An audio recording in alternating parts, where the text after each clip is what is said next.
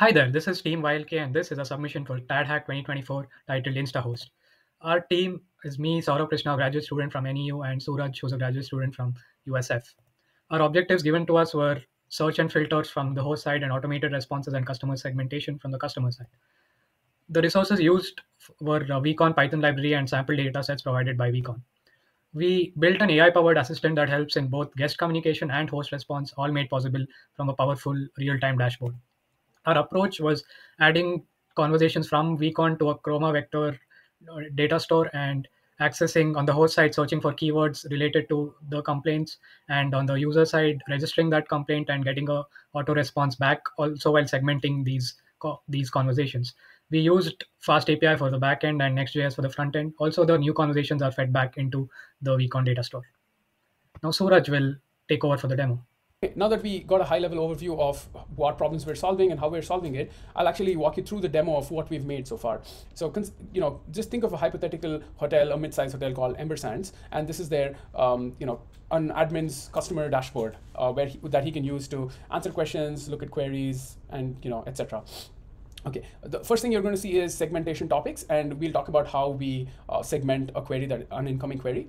And here, uh, you know, we can look at all the customers that are onboarded, their active customers who are currently staying, and inactive ones who have stayed in the past.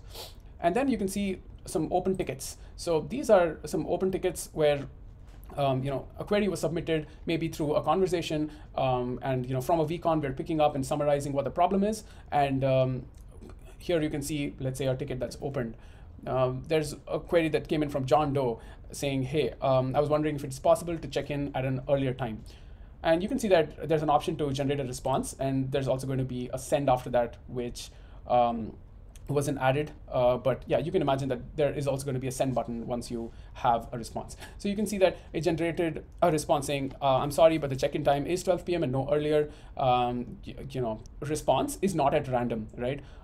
You have to understand that most of these hotels have policies and rules that are running from hundreds to sometimes even a thousand pages, right? So for a manager or representative to be able to answer questions on the spot uh, might not be uh, very easy. He might have to consult someone or you know check into the rules um, to actually be able to answer some questions. To solve this problem, we actually created this rule book right a policy management portal where all the policies you know you can just keep adding as many as policies as you want. For example there is a policy about check-in time being 12 p.m that's why the uh, you know we were able to generate a response that said hey the check-in time was 12 p.m right and the role that this plays is that all of these policies are then again um, you know sent to our vector db and RAG can properly uh, retrieve all of these um, policies and be able to generate better responses uh, just as a test, you know, I, let, let's just see um, how the response changes if, you know, my check-in time is 10 a.m., which could obviously change, right?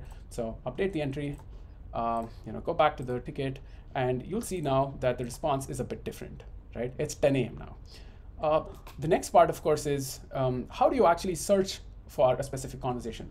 Let's say I'm a hotel manager and I want to know if you know somebody had an unpleasant stay because of poor quality of food or bad food that was served to you know one of our uh, guests. So as a hotel manager, I can simply search bad food.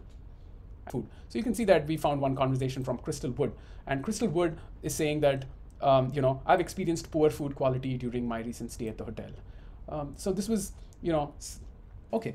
Now finally, uh, it's only useful if you know you can see the entire flow of how all of this fits in uh, to this dashboard. So just consider a conversation, uh, a conversation that is just submitted, right? Of course, these conversations can be from a call, um, and then you know it can be generated. Uh, a vcon can be generated, and then we can respond accordingly. But just for the sake of this, um, you know, tutorial or a demo video, um, let's simulate a conversation that is coming in from in the lobby, maybe, right?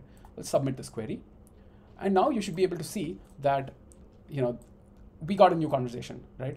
And it is uh, a new conversation in noise and privacy you uh, we just submitted this query with the name of Adam, and you know the query was about the music being too loud, right? So you can see that this is directly coming in, and it was automatically segmented in, and it just went into noise and privacy, which is one of our segments, right? So we were able to take a conversation real time and segment it as well real time and reach our open tickets, right? And sorry that we had some inconvenience. Oh, and you can see how we generated a response saying, sorry, we had some in inconvenience, and we could probably send this, right? And finally, we should also be, this should immediately update our vector store of conversations, and I should be able to, uh, uh, you know, look for this conversation. So let's say, you can just see that this is a query that I just submitted as Adam, and we just added uh, this just for the sake of it. And you can see that, hey, you know, I'm calling because of the loud music in the lobby. This is what